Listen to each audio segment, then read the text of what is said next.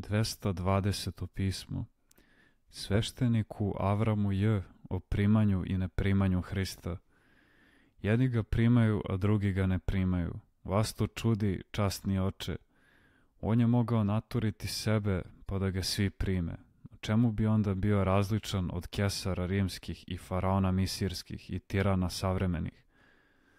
Gle, nametanje i tiranija uništavaju ličnost čovekovu, a on nije došao da uništi ono što je njemu i svakom čoveku najdragocenije. On nije želeo da silom pokori svačiju volju svojoj volji, nego da dobrotom odobrovolji sve ljude za carstvo svoje. On se pokazao kao pastir, kao osobiti pastir koji ne goni štapom ovce u svoj tor, nego koji ide napred pred ovcama i doziva ovce. Ovce moje veli slušaju glas moj i za mnom idu a one ovce koje ne slušaju glas njegov vraćaju se nazad ili skreću s puta i lutaju stramputicom. Ni onda nisu svi ljudi hteli poći za njim, ni danas svi to neće.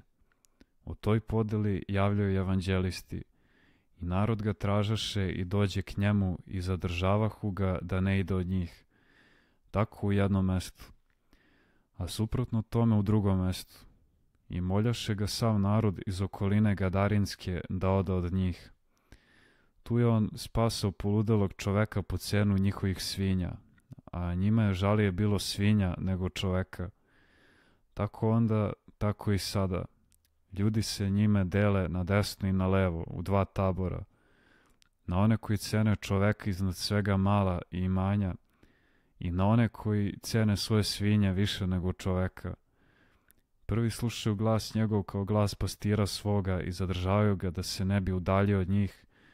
Drugi ga ne slušaju, ne idu za njim i ljutito gone ga od sebe, kao štetnog po njihove materijalne interese.